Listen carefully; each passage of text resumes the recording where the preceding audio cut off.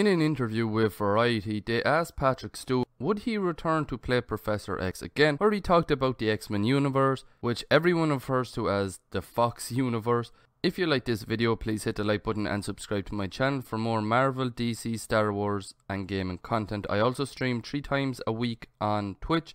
Link to that will be down in the description below with my TikTok and hover. Please go check them out. And Patrick Stewart said if there is an opportunity for him to come back and play Professor X again, then he would, of course. He also says he doesn't know if he uh, is actually going to be coming back. That's up to Marvel. If they want him back, and that we'll just have to wait basically and see. At the end of Logan, fans knew it was going to be the last time we see Patrick Stewart come back as Professor X and Hugh Jackman return as Wolverine. But then getting Patrick Stewart back as Professor X in Doctor Strange and Multiverse of Madness showed us money really does talk, and this then could open the door for Hugh Jackman to come back and play Wolverine. Of course, the next time we could see Professor X could be when they're introducing us to the X-Men, or they could bring Professor X and maybe bring Wolverine back in Secret Wars because because we all know that's going to be the big massive thing that's going to happen now with incursions being introduced to us and the multiverse and with Loki giving us variants as well.